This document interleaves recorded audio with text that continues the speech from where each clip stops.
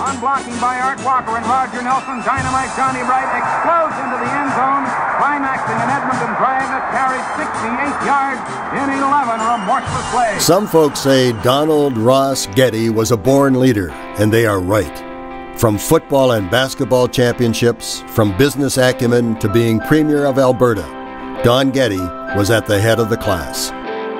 Consider three trips to the Grey Cup final, with two of them resulting in victories. Consider a Yates Cup with the Western Mustangs. Consider a career in business starting with Imperial Oil.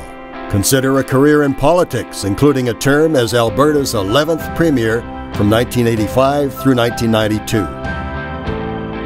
Don was part of the 1955 Edmonton Eskimos who defeated the Montreal Alouettes in the first of three consecutive Grey Cup matchups.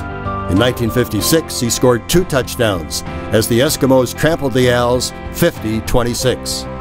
He was named the 1959 Outstanding Canadian Player in the West, another highlight of a star studded 10 year CFL career.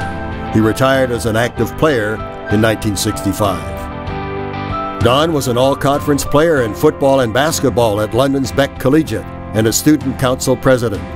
At Western, he led the Mustangs to the Yates Cup and was a guard on the basketball team that won intercollegiate titles in 1952, 53, and 54.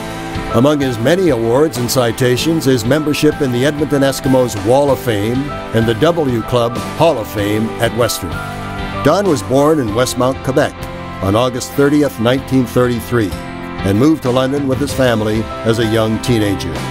He and his wife, the former Margaret Mitchell of London, and their four sons reside in Edmonton. Don Getty's credentials certainly qualify him for entry into the London Sports Hall of Fame, and we are honored to include him in the Athlete Legend category.